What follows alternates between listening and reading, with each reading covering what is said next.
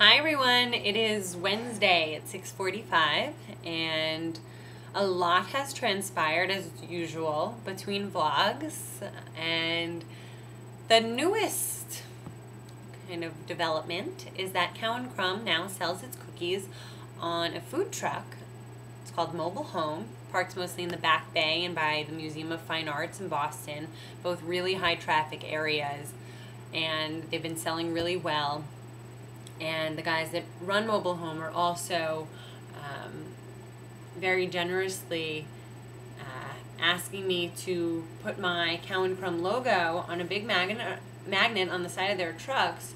So it'll be somewhat of a collaboration. They'll take care of the savory and I'll take care of the sweet. Um, we both come from the same school of thought about food, which is it doesn't need to be organic or vegan or, you know, all natural to be great for you. It needs to feed your soul, as cliche as that is, but it's made like it would be made at home by your mother or grandmother. That's how their savory cooking is, and that's exactly how I like to bake.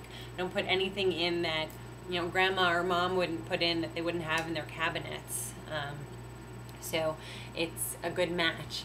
And it's just exciting to be in different sales channels sales and marketing are something that I am spending a lot of time on right now, which I love to do, and I'm so happy to be doing it.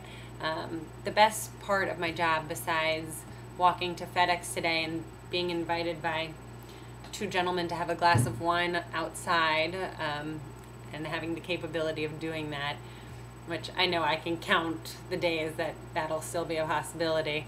Um, and that young men are still, you know, pulling me off the sidewalk to ask me for a drink or to have a drink.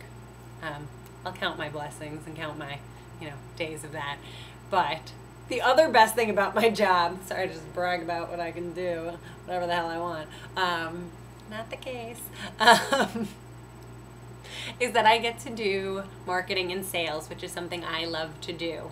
And I feel I'm the most fit for the position since of course I am passionate about this business and this company and can tell people with the most genuine voice what value Cow and Crumb cookies will add to their establishment, to their gift giving program, to their everyday lives, and mean it with every ounce of me.